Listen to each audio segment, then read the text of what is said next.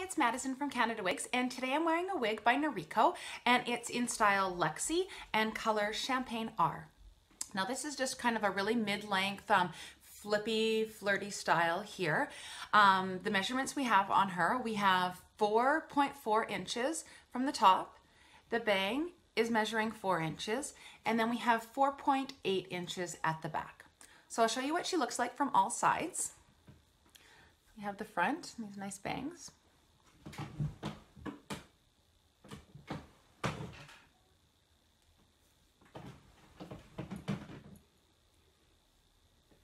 So a lot of layers that are cut into this, this um, wig. There's lots of, yeah, different lengths here.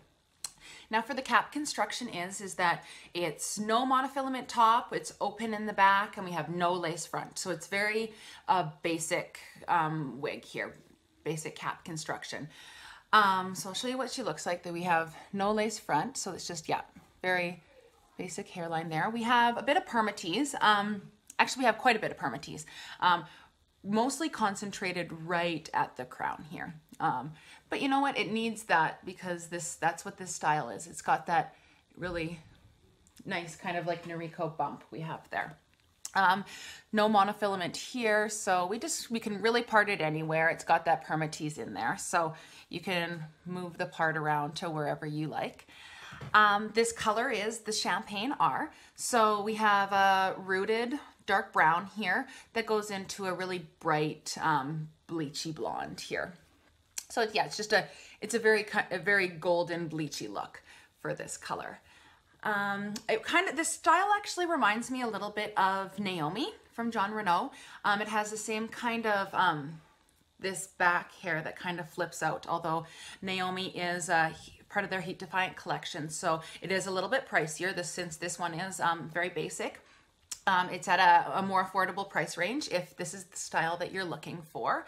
Um, yeah, it's just got a lot of layers, really kind of a flippy style here. Um, personally, I think that this style might be a little bit dated. Um, I think there's so many more modern cuts that um, to choose from, and I think it's mostly just focused on this back um, portion here. I think that that could get a little hot on your neck since it is kind of just right there where the rest of the hair is um, up. But I mean, you could always pin that back or um, kind of just um, do whatever you like with it. I mean, I've seen, I've read a lot of reviews where people really swear by this wig and it's a, a great option to have. But um, yeah, that's just personally for me. I feel like it could just kind of bother me a little bit on my neck there. But you know what? Um, you can, yeah, just style it kind of whatever way you like. There's a, a lot of nice layers in here, so it would really frame your face very nicely. I feel like it looks nice when it's tucked behind the ears. Um, looks a, like a very polished look.